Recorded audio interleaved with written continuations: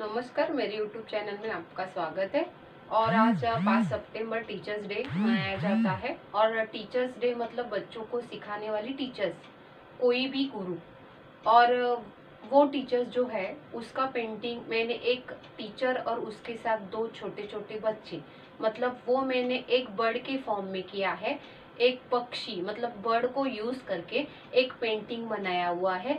वो सभी टीचर्स आप ज़रूर देखो। और अगर ये आपको पेंटिंग अच्छा लगे तो आप सब्सक्राइब करना ना भूलो। देखते हैं कैसे किया है।